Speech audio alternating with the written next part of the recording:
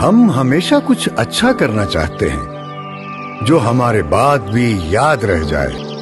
कुछ ऐसा जो आज किया हुआ कल काम आए। तो आए, अपने सदका जारिया से शौकत खानम मेमोरियल कैंसर अस्पताल कराची की तामीर में अपने हिस्से की ईंट लगाएँ, क्योंकि आपके ताउन से ही बनने जा रहा है जदीद तिब्बी सहूलियात से आरास्ता पाकिस्तान का तीसरा और सबसे बड़ा शौकत खानम कैंसर अस्पताल, जहाँ आपके दिए हुए एहतियात से हज़ारों मुस्तक कैंसर के मरीजों को मिलेगी ज़िंदगी की एक नई उम्मीद। तो फिर शौकत खानम अस्पताल कराची को हकीकत में बदलने के लिए बाकायदगी से अतिया करते रहें।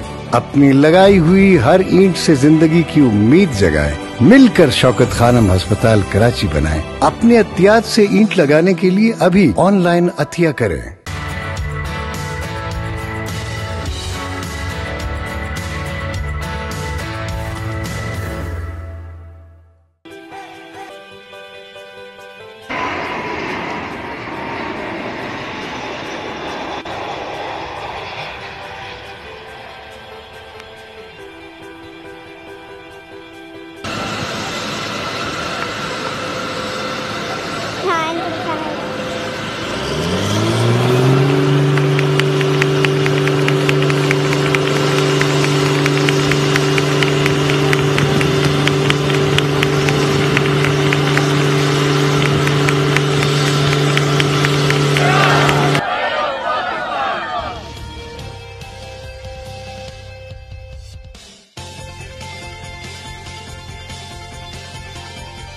सियाद जिंदाबाद, पाकिस्तान पाइंदाबाद।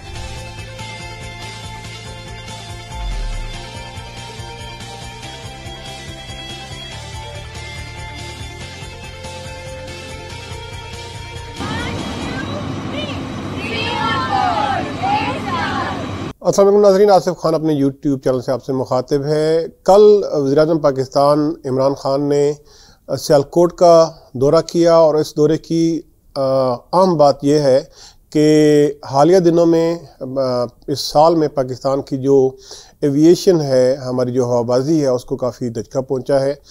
इमरान खान जो है, कल जो है, सियालकोट आए और उन्होंने सियालकोट के लिए एक स्पेशल पैकेज का ऐलान किया है। इस पैकेज में, इसके, पैकेज के ऐलान के साथ ही उन्होंने एक नई एयरलाइन का अफ्ताह किया है।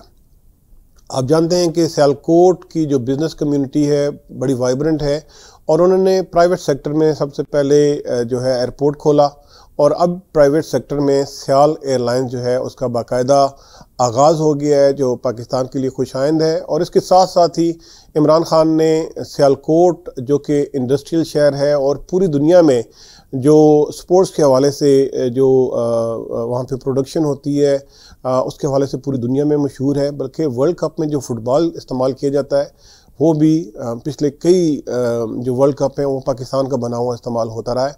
सियालकोट में इंडस्ट्री की डेवलपमेंट के हवाले से सीवरेज के हवाले से, नौजवानों की एम्प्लॉयमेंट और ट्रेनिंग के हवाले से, और दीगर कई हवालों से इमरान खान ने एक बहुत बड़े पैकेज का ऐलान किया है, और उसके साथ साथ उन्होंने एक हाई टेक यूनिवर्सिटी का भी वहाँ पे ऐलान किया है, जो ऑस्ट्रेलिया ऑस्ट्रेलिया नहीं, बल्कि ऑस्ट्रिया के तावन से जो है वो वहाँ पे बनाई जाएगी। तो ये खुशाइन बात है पाकिस्तान के लिए।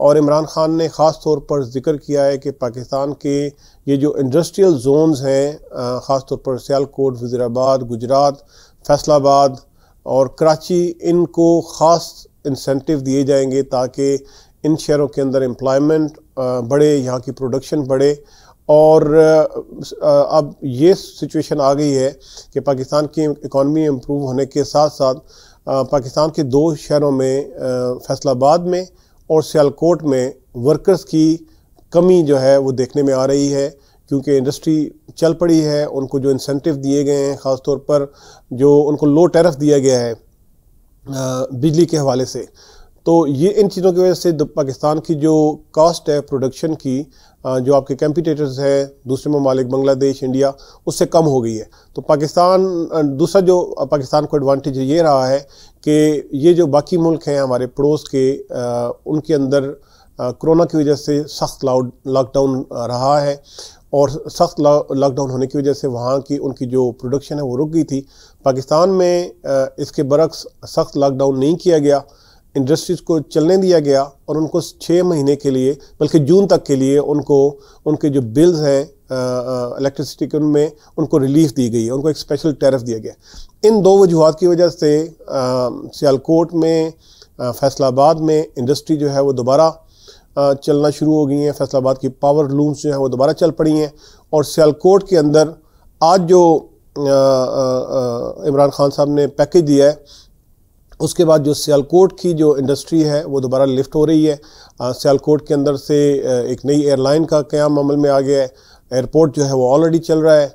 और इसके साथ साथ ये जो नए इंसेंटिव दे रहे हैं और सियालकोट के अंदर पाँच मज़ीद पार्क्स जो है, वो बनाने का भी ऐलान किया गया है। तो ये सारी चीज़ें जो हैं, वो सियालकोट के लिए बहुत अच्छा है, क्योंकि सियालकोट की खूबी ये है कि वहाँ के लोग जो है वो खुद सेल्फ सफिशेंट हैं, वो खुद जो है अपना इंफ्रास्ट्रक्चर बनाने पे इन्वेस्ट करते हैं और जब कोई हुकूमत चीज़ उनको प्रोवाइड ना कर सके तो वो कोशिश करते हैं कि उसको ख़ुद जो है अपनी मदद आपके तहत वो बिल कर सकें और जब हुकूमत की तरफ़ से एक बड़ा पैकेज आएगा और जो प्राइवेट और सेक्टर की और गवर्नमेंट की जब पार्टनरशिप होगी तो इसके रिज़ल्ट मज़ीद खुश आइंद होंगे।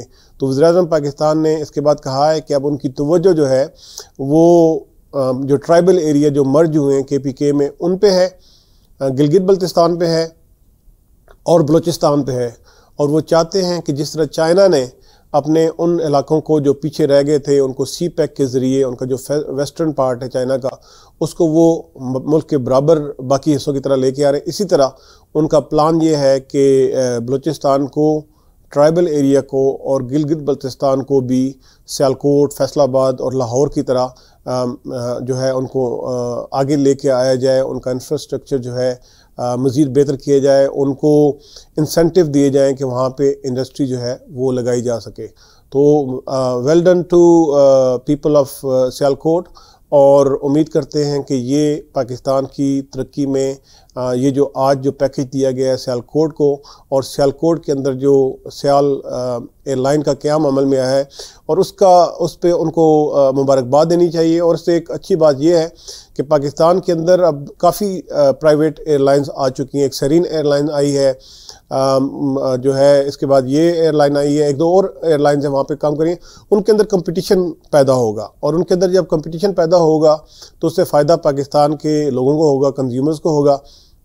क्योंकि प्राइवेट सेक्टर में आने वाली जो एयरलाइंस हैं, वो आपस में कम्पीट करेंगी, एक से ज़्यादा कोशिश करेंगे कि सार्फिन को जो है वो बेहतर से बेहतर फेयर दें। और उससे लामाला तौर पर जो पाकिस्तान की सरकारी एयरलाइन है पीआईए उसको भी अपना मैार जो है वो बेहतर करना पड़ेगा।